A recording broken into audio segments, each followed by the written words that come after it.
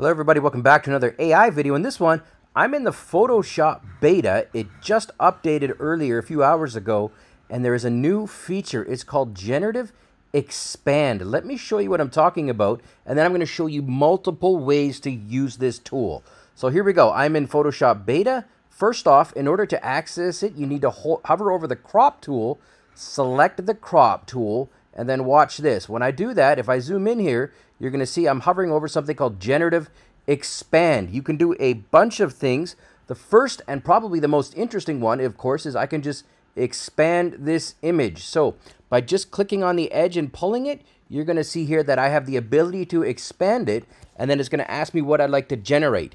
Two options. One, I can say, you know, in a in a restaurant, or I could put like, what would you like to be uh, in a restaurant?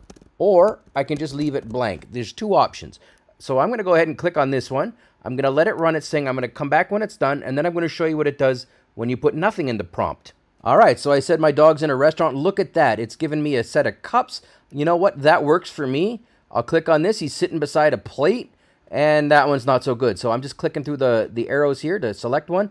I like the cup one, so that would work. And then I have a new image. Let me show you some other options. All right, so another, another option is if I wanted to, let's say I wanted to do that again, but this time I'm just gonna go ahead and I'm gonna hold down the shift key and you're gonna see here that I am expanding it proportionally. So it is expanding proportionally, but it is not going from, it's not going from all sides. If I hold down the Alt key on a PC, Option key on a Mac, it is now pulling it in an exact proportional. So it's either you can pull it one direction or upwards and to the right, for example, in this case, or you can hold down the Alt or Option key and you can do a fully perfect uh, expansion. So these are the other two options. Now watch this. I'm just going to let go.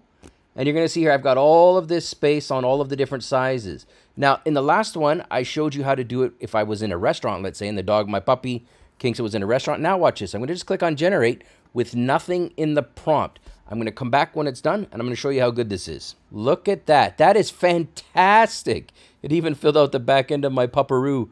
Uh, let's click through a few of the other options. That one's not so good.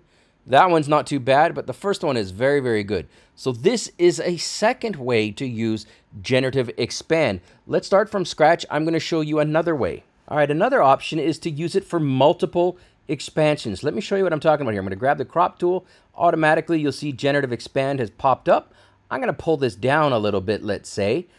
But when I pull it down, I look at that and I go, oh, you know, that's not quite right. I want it to go maybe another bit to this side. So you'll see here that I'm just sort of pulling and making multiple expansions. And if I hold shift key down, it constrains the proportions. But there you go. You can do multiple expansions with generative expand. Another option is you can do ratio or aspect ratio expansion. So in this one, I got basically we've got a rectangle here. But if I start going up to the top here, you'll see here we have some options. We have ratio, we have width times height times resolution. We've got one-to-one -one aspect ratio, 4, 5, 5, 7, 16, 9, etc., etc. I will show you 16, 9. Watch this. I'm just going to click on that and presto, it's selected a 16 by 9 aspect ratio. Now, if I pull on this, I can actually go ahead and expand out using 16 by 9. And because we can do multiple expansions, I'm going to go ahead and do something like that. So we've got the my dog in the image, but we've got all of this area around each side. I'm going to go ahead and just click on generate. I'm not going to add in any prompt. Watch what happens. I'll come back when it's done. It has done an excellent job. It's filled out these sides with some blank space there. We've got some, it's like he's in a nice big room there that wasn't there. Well, it's there now. Looks great. If I click through some of the options, they're all quite good. Now, I want to show you how to go ahead and use it for patterns. Let's watch this.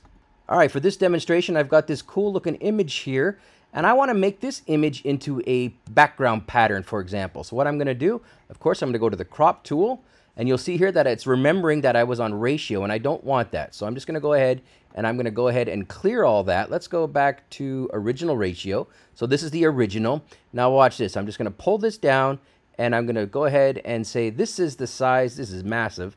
Uh, let's go with something a little smaller, something like that. And now I'm going to go ahead and type in the word pattern. When I do that, we're going to get some options. Watch this. I'll show you when I come back here. Look at that. It has done an amazing job turning that original image into a full pattern. Wow, look, I mean, that's, the first one's perfect. I mean, if there's another one, great. Hey, that looks good too, but absolutely awesome. Now, let me show you one final way to use generative expand.